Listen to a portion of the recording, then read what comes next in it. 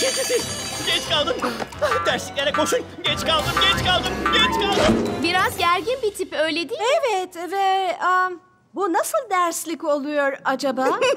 Çok safsın. Fırçayı alır ve bir kapı çizersin. İşte. Tek yapmamız gereken bir günlüğüne okula gitmek. Bu o kadar zor olmasa gerek.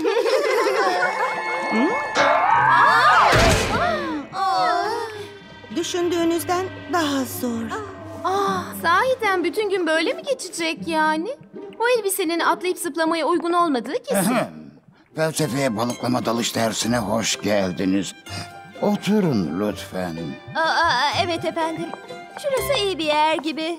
Oh hey üstüme oturma. Ne sandın beni bir sıra mı? Olamaz. Üzgünüm. Şu sıra konuştu. Kalk hızımdan. Sandalye mi sandın sen beni? Hey, gittiğin yere dikkat et. Kişisel alan nedir bilmez misiniz siz? Bu nasıl bir terbiyesizlik he? Artık burada değişim öğrencilerini istemiyoruz. Ya bu değişim öğrencileri çok fena.